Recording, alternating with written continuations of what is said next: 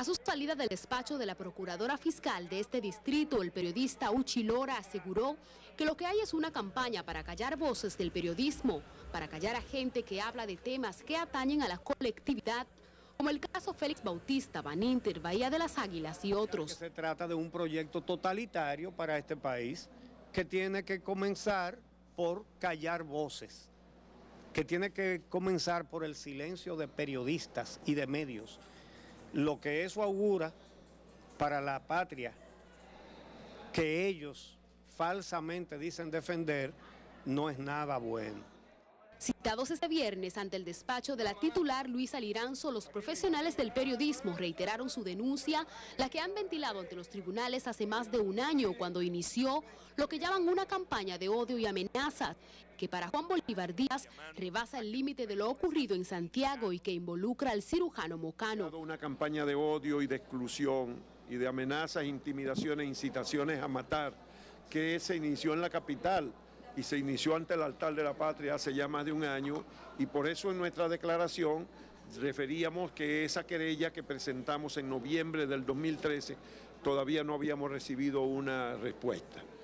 Roberto Cavada de su lado califica los improperios, amenazas e insultos como muestra de que no hay argumentos para sustentar lo pronunciado por los neonacionalistas. La razón está de nuestro lado, que simple y llanamente somos voceros de una gran parte de la población que quiere vivir en la tolerancia, en el respeto al derecho ajeno, a la convivencia pacífica, a desarrollar un país como Dios manda, cuncho de buena voluntad. Nunca en la historia dominicana se había visto a nadie incitando públicamente a matar periodistas, como no se debe incitar a matar a ningún tipo de ciudadano.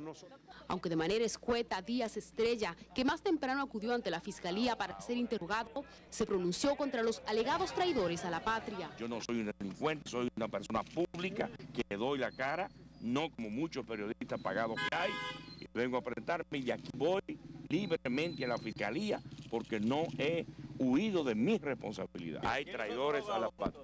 Apostados fuera del despacho, grupos de apoyo al cirujano insistían en su llamado a dar muerte a los alegados traidores.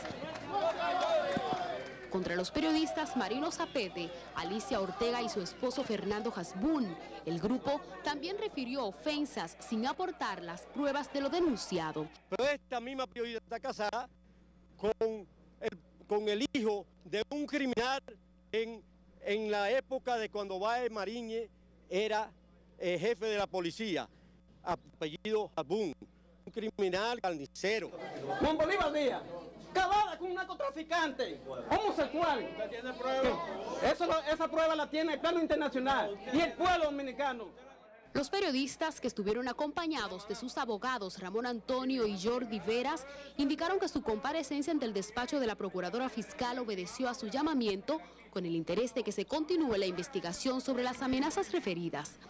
En Santiago, Yomaira del Rosario Informativos Teleantillas.